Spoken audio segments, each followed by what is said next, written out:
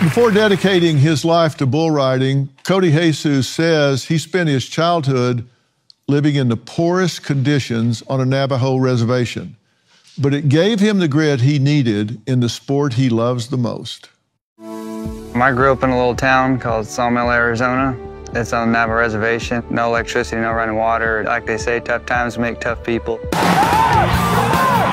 My older brother, he recorded all the bull riders only way back in the day. Told my mom that I wanted to be bull rider and she kind of chuckled a little bit and didn't think I was serious. And after I got off school that day, I went home and tied up a barrel between two trees and two days later my mom took me to my first bull riding. My mom and my grandma were probably the biggest support systems growing up. Probably my first big win ever was at Navajo Nation Fair. And that year they were giving away $10,000 in a Final Four ride-off. Stars the line just right and changed my life. The riding sensation from the Navajo Nation. Yeah, I think it's really cool to have that name because I think a lot of Navajo people grow up like I did. I hope to give people hope like I had hope growing up, and it's a big name to live up to or a big responsibility to live up to, but I mean, there's no other way I'd have it.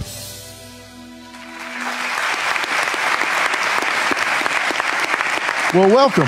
Thank you for having me. So, uh, this has really made a difference to the reservation and the people that you grew up with. Oh, for sure. I think uh, bull riding is a big thing on the res, and I just hope to open the doors for them uh, little bull riders around there and change their lives. Yeah, and they refer to you as the pride of the Navajo Nation. At first, you, you didn't have much of a place to live, right? It was just really, well, you didn't have much of a place. Yeah, my mom finally, uh, when we were about 10 or 11, she pulled out all her life savings and kind of built a little shell of a house. And there was no carpet or nothing, no running water, no electricity. And uh, couple of years later, we ended up getting a generator that we'd turn on and I mean, she'd watch her Dr. Phil and stuff like that. We, we kind of watched the TV, but it was on for a couple of hours and then we had to shut it off. And, you know, if we didn't have gasoline for the generator, we'd just do our homework under candlelight. Yeah. Well, that's what you want to aspire to is get a generator and watch Dr. Phil. uh, that's when you know you got some traction in this world, right? Yes, sir. Uh, but when you started to really get some success and and earn some prize money and that sort of thing, uh, you didn't just say "Hooray for me." You said, "I, I want to give back and, and make a difference." And what'd you do with that success?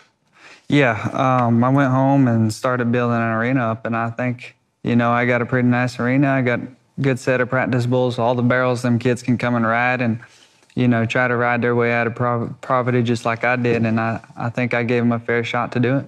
I think that is I think that is so great. I'm so proud of what you're doing, and I, I hope you're proud of it as well.